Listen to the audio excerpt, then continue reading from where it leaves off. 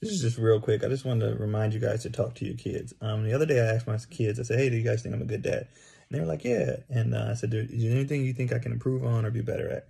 And the little one had nothing. Um, but the oldest one was like, yeah, I just feel like you guys um, only get mad at me and you guys never get mad at Kendrick. And I was like, okay, fair enough. Um, you're the oldest, so we probably do be on you, but fair enough. He was like, one time, mommy yelled at me for choking him, and I wasn't choking him. He was hitting me first, and I was just trying to get him off of me, but I wasn't trying to hurt him at all, and I got in trouble.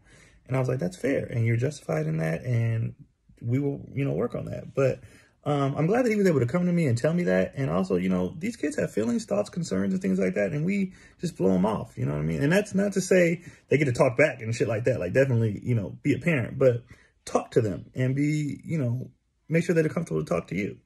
You know what I'm saying? I'm glad you told me that. Like, we're always trying to improve as parents, right? So we need their input. Um, that's all. Just wanted to put that out into the space. Carry on.